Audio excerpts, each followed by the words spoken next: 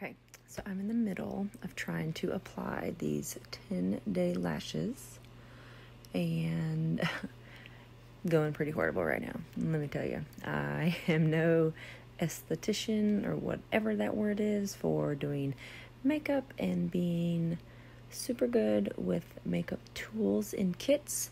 And having hooded eyes definitely does not help for this and also the fact that their instructions are super vague, um, especially for someone who doesn't do this stuff ever. So I doubt this is gonna do very well.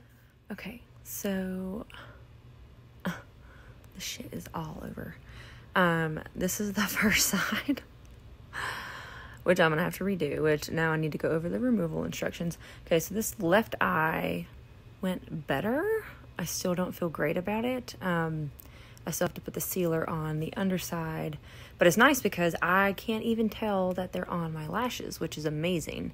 Um, yeah, so stay tuned to see, and you can just tell like I didn't go all the way to the edge here, which this is better coverage, and the, yeah, this is just botched. So let's just see what happens. okay. So, redid the right eye, which I feel like these are sticking up way better than the right side.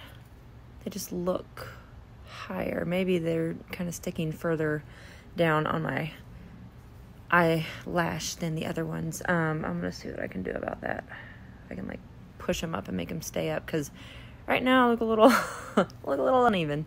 Um, but yeah, I can't feel them because you apply them to the lash, not to the bottom of the lid like other fake eyelashes. So that's nice.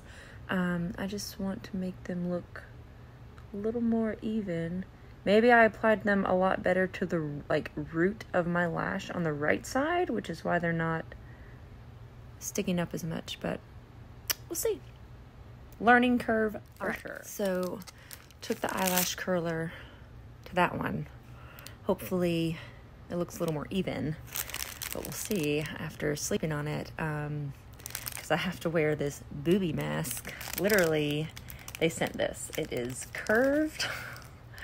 That'd actually work well for a bra for me. but yeah, I'm supposed to sleep in this, and I'm not supposed to sleep on my face, and I'm like a side stomach sleeper, so this is awful. Um, we'll see how it goes.